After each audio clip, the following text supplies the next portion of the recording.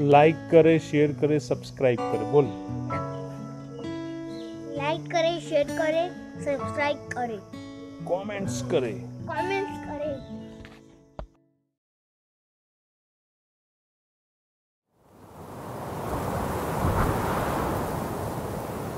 क्या हर adventure starting में एक प्रॉब्लम नहीं होता? क्या हर एडवेंचर की शुरुआत प्रॉब्लम से नहीं होती। बार बार गिर करके उठने में और वापस से ट्राई करने में क्या ये एडवेंचर नहीं है? इसमें जितना मज़ा है और किस चीज़ में है इस दुनिया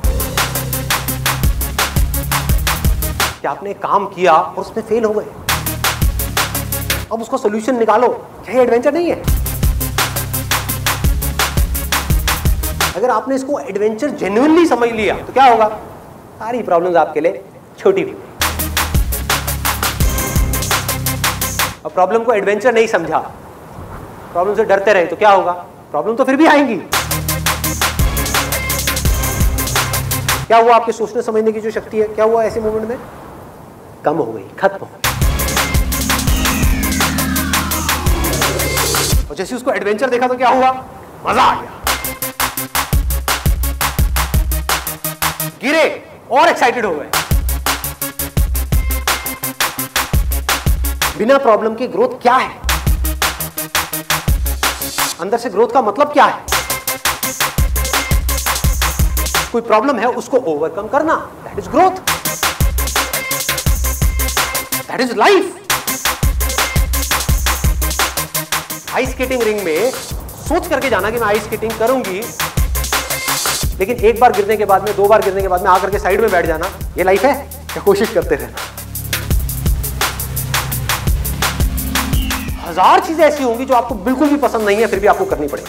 मान लो आपको अकाउंट्स में इंटरेस्ट नहीं है, लेकिन अगर आप एक ऑन्टरप्रेन्योर हो तो आपको थोड़ा बहुत तो सीखना ही पड़ेगा। अब एक नज़रिया ये है, आप इसको प्रॉब्लम की तरह देखो और अटक जाओ। दूसरा क्या है? इसको एडवेंचर बना दो। मतलब आपको लगता है कि मैं ये काम नहीं कर पाऊँगा, फिर भी मैं कोशिश कर रहा हूँ, और फिर भी मैं उस काम को कर जाऊँ।